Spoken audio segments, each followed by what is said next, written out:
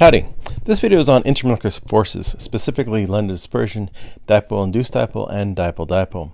London dispersion is also referred to as induced dipole, induced dipole. Now everything has London dispersion forces, and so London dispersion is one of the most important intermolecular forces. Everything can be polarized and have a partial, a temporary dipole moment. Dipole-induced dipole interaction is why gases dissolve in water, and so it's important. Dipole-dipole interaction is actually the interaction between two polar molecules, and often they can dominate intermolecular forces. And so hydrogen bonding is a form of dipole-dipole interaction. After watching this video, you should be able to describe what London dispersion is, identify when it occurs, and describe examples of it and explain why the examples are important. You should also be able to do the same thing for dipole-induced dipole and for the dipole-dipole interaction. And so intramolecular forces are the forces that hold atoms together to form molecules. So that's covalent bonds. Intermolecular forces are the forces between molecules, between molecules and ions, or between ions. Now, often intermolecular forces are much weaker than intramolecular forces. The exceptions would be the ion-ion interaction and the ion-dipole interaction. And so it's a little bit of a misnomer. We say intermolecular forces, but we include the ion-ion interaction and the ion-dipole interaction. Now, these intermolecular forces determine boiling points, melting points, vapor pressure, solubility, viscosity, surface tension, capillary action, etc. And so a lot of physical properties are a result of intermolecular forces. And so in general, the stronger the intermolecular forces, the more kinetic energy is needed to overcome the intermolecular attraction, the higher the melting point, the higher the boiling point, and the lower the vapor pressure. And so all intermolecular forces are electrostatic in origin, and so that means they follow Coulomb's law. And so Coulomb's law says the force of the attraction is equal to K, a constant we don't really care about, times charge on particle 1 charge, times charge on particle 2, divided by the distance um, between the particles squared. And so the stronger the attraction, the more stable the configuration, the stronger the repulsion, the less stable. According to Coulomb's law, the bigger the charges, um, the stronger the interaction. And when I say bigger charges, typically we mean absolute value, and so we treat a plus 2 and a minus 2 the same way. The shorter the distance, the stronger the interaction. And so electrostatic interaction um, determines energy of atomic orbitals, bonding electrons, lattice energy. Also, you know, molecules take the shape to try to minimize the repulsion between regions of electron density.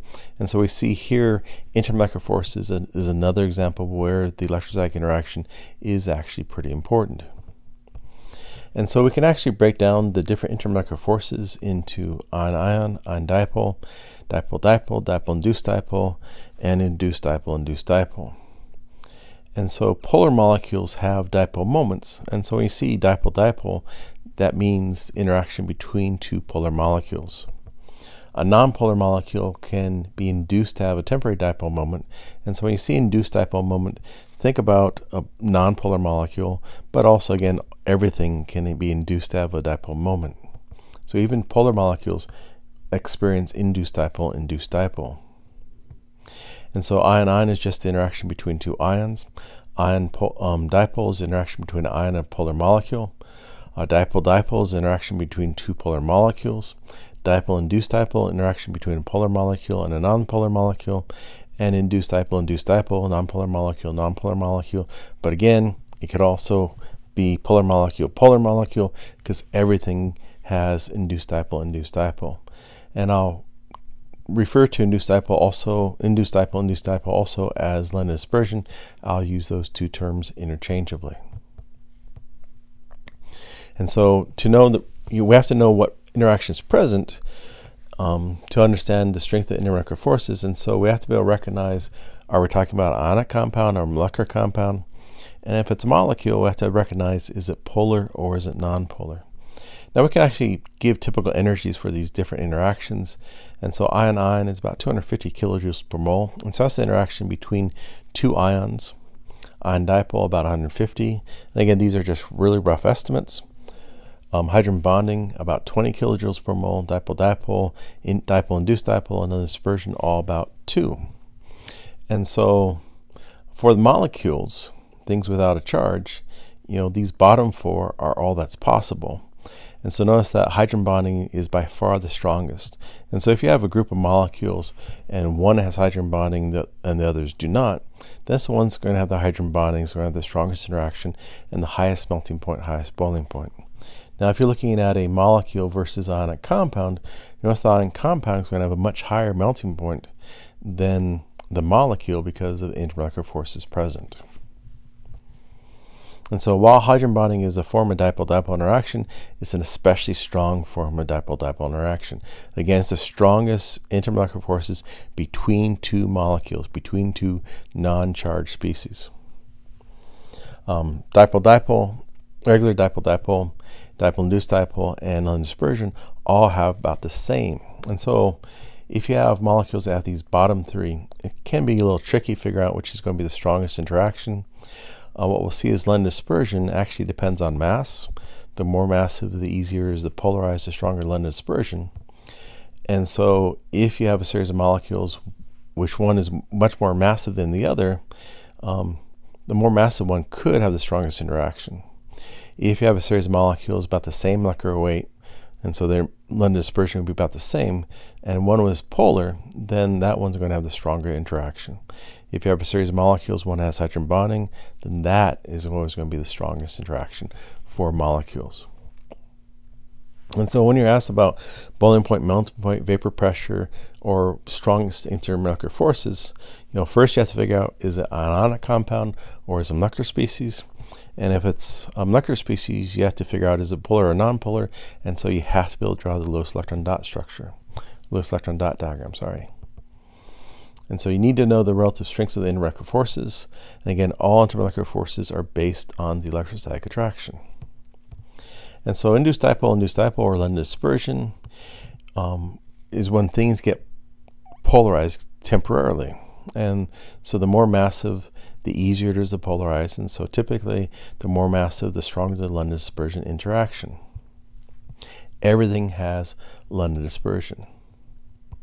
And so iodine molecules are nonpolar, but when they get next to each other, they can induce a dipole moment into each, each other. An iodine molecule has, on average, an electron cloud that is symmetrically spread over each iodine atom. I2 is not polar. The attractions or repulsions between the atoms of I2 molecules can distort their electron clouds. Dipoles can thereby be induced momentarily in neighboring molecules. And so London dispersion, again, dipole moments get induced. They're temporary and they're typically weak. And again, the more massive, typically easier it is to induce a dipole moment. And so uh, here's a series of alkanes. And it's kind of interesting if you look at it, the boiling point increases as you increase the molar mass. Now you should remember that the difference electronegativity between carbon and hydrogen is less than 0.5 and so we typically we characterize the carbon hydrogen bonds as nonpolar. Carbon typically does not have a lone pair and so all alkanes are nonpolar and so the only interaction here is going to be London dispersion. And again the more massive the stronger the interaction the higher the boiling point and so we can actually put on the graph graph and it just happens that it's linear and so again, the more massive, the stronger London dispersion interaction, um, the higher the boiling point. If we look at a wider range of the compounds, you know, the top four here are gases at room temperature. The bottom ones are liquids at room temperature. And you notice that as you increase the molar mass, um, the boiling point increases dramatically. And so when looking at molecules that are nonpolar, um, the first consideration is going to be molar mass. The higher the molar mass, easier it is to polarize, the larger the London dispersion. And you got to remember, molar mass is related to the strength of the London dispersion interaction. Now, a secondary consideration is actually the shape of the molecule. And so if you have molecules that are elongated, there's more surface area that they can actually interact, and so that will give you a stronger London dispersion. If you have molecules that look like spheres, there's less surface area for them to interact, and so it will give you a weaker London dispersion. And so you can imagine long chain alkanes versus branched alkanes.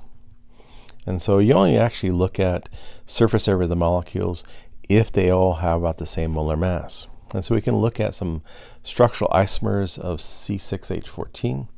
And so here we have five. They're all composed of the same exact set of atoms, just different arrangements.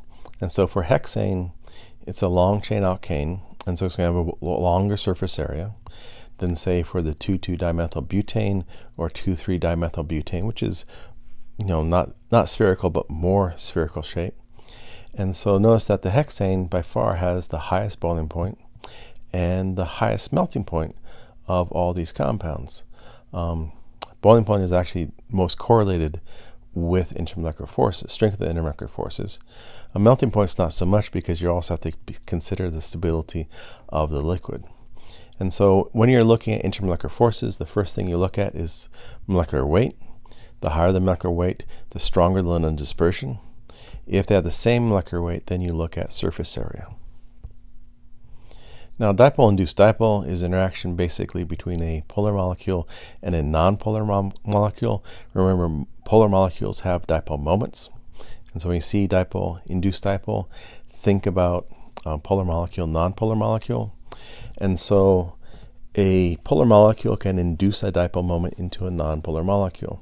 And so on the right, we have water, which is very polar. On the left, we have um, oxygen molecule, which is very nonpolar. On average, the electron cloud of an O2 molecule is distributed symmetrically across the molecule. The molecule is not polar. A water molecule, which is polar, repels the electron cloud, causing it to be asymmetrically distributed and thereby induces a dipole in the O2. This shift allows O2 to be weakly attracted to the water molecule. And so by inducing a dipole moment into the oxygen molecule, now oxygen has a partial positive charge, partial negative charge, it has a temporary dipole moment. And so then you have electrostatic attraction between the water molecule and the oxygen molecule. And so this is actually why gases dissolve in liquids, um, because you have to you know, have an interaction between the gas molecule and the water molecule. And the stronger the ion dipole, sorry, the stronger the dipole-induced dipole interaction, the more soluble. And so if you look at the O2, N2, and the helium, you see the O2 is going to have the stronger um, dipole-induced dipole interaction than N2 and then helium. And so if your polar molecule is the same, and then the induced dipole, you know, again, the more massive, the easier is to polarize.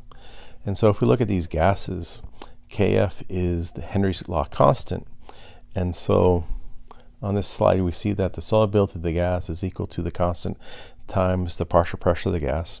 As you increase the pressure of the gas, you increase the solubility. And so you can imagine that um, this the slope of this line is basically the Henry's law constant. And so the bigger the Henry's law constant, the stronger the dipole-induced dipole interaction, which means the easier it is to polarize. And so you'd expect that the bigger the molecule, the easier it is to polarize, the stronger the dipole-induced dipole interaction, and hence the larger the Henry's law constant. And so CO2 has a Henry's law constant of 2.3 times 10 minus 2. Notice that helium is very small at 3.7 times 10 minus 4. And so helium is not very soluble in water because it has a weak interaction with the water molecules. And CO2 is much more soluble in water because it has much stronger interaction with the water molecules. And so for both um, London dispersion and dipole-induced dipole, the more massive, the stronger the interaction. And then if we look at dipole-dipole interaction, again, a polar molecule has a dipole moment. And so dipole-dipole is interaction between two polar molecules. And so HCl is a polar molecule. The difference electronegativity of that bond is pretty big. Uh, electronegativity of hydrogen is 2.2. For chlorine, it's 3. And so that gives us a difference of 0.8. And remember, if the difference electronegativity is greater than 0.5, we consider the bond polar covalent and that if you have a diatomic molecule, meaning just a molecule composed of two atoms, if the bond is polar, then the molecule is polar. And so for HCl, it is polar. And again, one of the reasons that whether or not a molecule is polar or nonpolar is important because that affects the interaction between the molecules. And so the chlorine is more electronegative and so has a partial negative charge. The hydrogen's less electronegative as a partial positive charge. And so there's going to be electrostatic attraction between these two molecules. Hydrogen chloride molecules are polar. When HCl molecules in the gas phase are cooled, the kinetic energy of the molecules can no longer overcome the dipole-dipole forces between them. The opposite ends of the molecules attract each other and coalesce to form a liquid. And so often, what we'll you should think about a phase transition as a competition between kinetic energy and intermolecular forces. And so, as you reduce the temperature, you're, reducing kinetic energy, and intermolecular forces are becoming more important. If you raise the temperature, you're increasing the kinetic energy at the atomic level, and then they can overcome the intermolecular forces. Now, if you notice here, the hydrogen's attracted to the chlorine of the different molecule, because again, the hydrogen has a partial positive, chlorine partial negative um, hydrogen attracted partial negative, again here and here. And so dipole-dipole interaction, one of the molecules is partial positive, the other end is partial negative. And so the partial positive end of one molecule is going to be attracted to the partial negative end of the other molecule. And again, for London dispersion, it's about molecular weight. And so often when you're looking at effective dipole-dipole, you want to look at when the molecular weight is about the same and so if we look at N2 and HF, they have about the same molecular weight, 28 and 20. Now N2 is nonpolar, HF is polar, and so notice that the boiling point is much higher for the HF. The stronger the intermolecular forces, the higher the boiling point, higher the melting point, and the lower the vapor pressure. If we look at um, Br2 and ICL, they have about the same molecular weight. Bromine is going to be nonpolar. ICL is going to be a little polar, and so polar gives a stronger intermolecular force and a higher boiling point. And so for polar molecules, um, the more polar molecule, the stronger electrostatic attraction, the higher the melting point, higher the boiling point, lower the vapor pressure. For non-polar molecules that only have London dispersion, and for London dispersion, the larger, the more mass of the molecule, easier to polarize, the stronger electrostatic attraction, higher melting point, higher boiling point, and the lower vapor pressure. And so a question you could face in the near future would be put the following in order of increasing melting point. And so we should recognize, first we have to determine intermolecular forces. And so we should recognize that in each, in each of these we have um, two nonmetals. And so these are going to just be molecular species. And then we have to figure out, is it, are they polar or nonpolar? And we can draw Lewis diagrams, we'd find that they're all nonpolar. When you have a center atom surrounded by the same type of outer atoms and no lone pair on the center, it has to be nonpolar. And so all three of these are nonpolar. And so the only intermolecular force is going to be London dispersion. And for London dispersion, the larger the molecular weight, the more polarizable, the stronger the London dispersion forces, and higher melting point, higher boiling point, lower the vapor pressure. And so um, methane has the lowest, the weakest intermolecular forces because it has the lowest mass. Carbon tetrachloride, the largest London dispersion forces, and so it has the highest boiling point, highest melting point, which has a higher vapor pressure, boron trichloride or boron trifluoride. And again, we recognize that we have a metal and a nonmetal. Sorry, we have two nonmetals, and so it's a molecular species. We can draw Lewis diagrams. We'd find that they're both um, nonpolar. They're both trigonal, planar electron geometries, and so they're both nonpolar. Now, so the only interaction they're going to have is London dispersion, and so the more massive, the easier is to polarize, the stronger the interaction, the higher the boiling point, higher the melting point, and the lower the vapor pressure. And so um, boron trichloride has a boiling point of 12.5, um, boron trifluoride minus 100. And so the um, boron trifluoride has the higher vapor pressure at the same temperature of the boron trichloride. And so the stronger interaction, the lower the vapor pressure. And so boron trichloride would have the lower vapor pressure. The weaker the interaction, the lower the boiling point, lower the melting point, higher the vapor pressure. And so physical, um, intermolecular force is very important for physical properties. And again, in general, the stronger intermolecular force, the more kinetic energy is needed to overcome the intermolecular force, the higher the melting point, higher the boiling point, and the lower the vapor pressure at any given temperature. I hope that was helpful.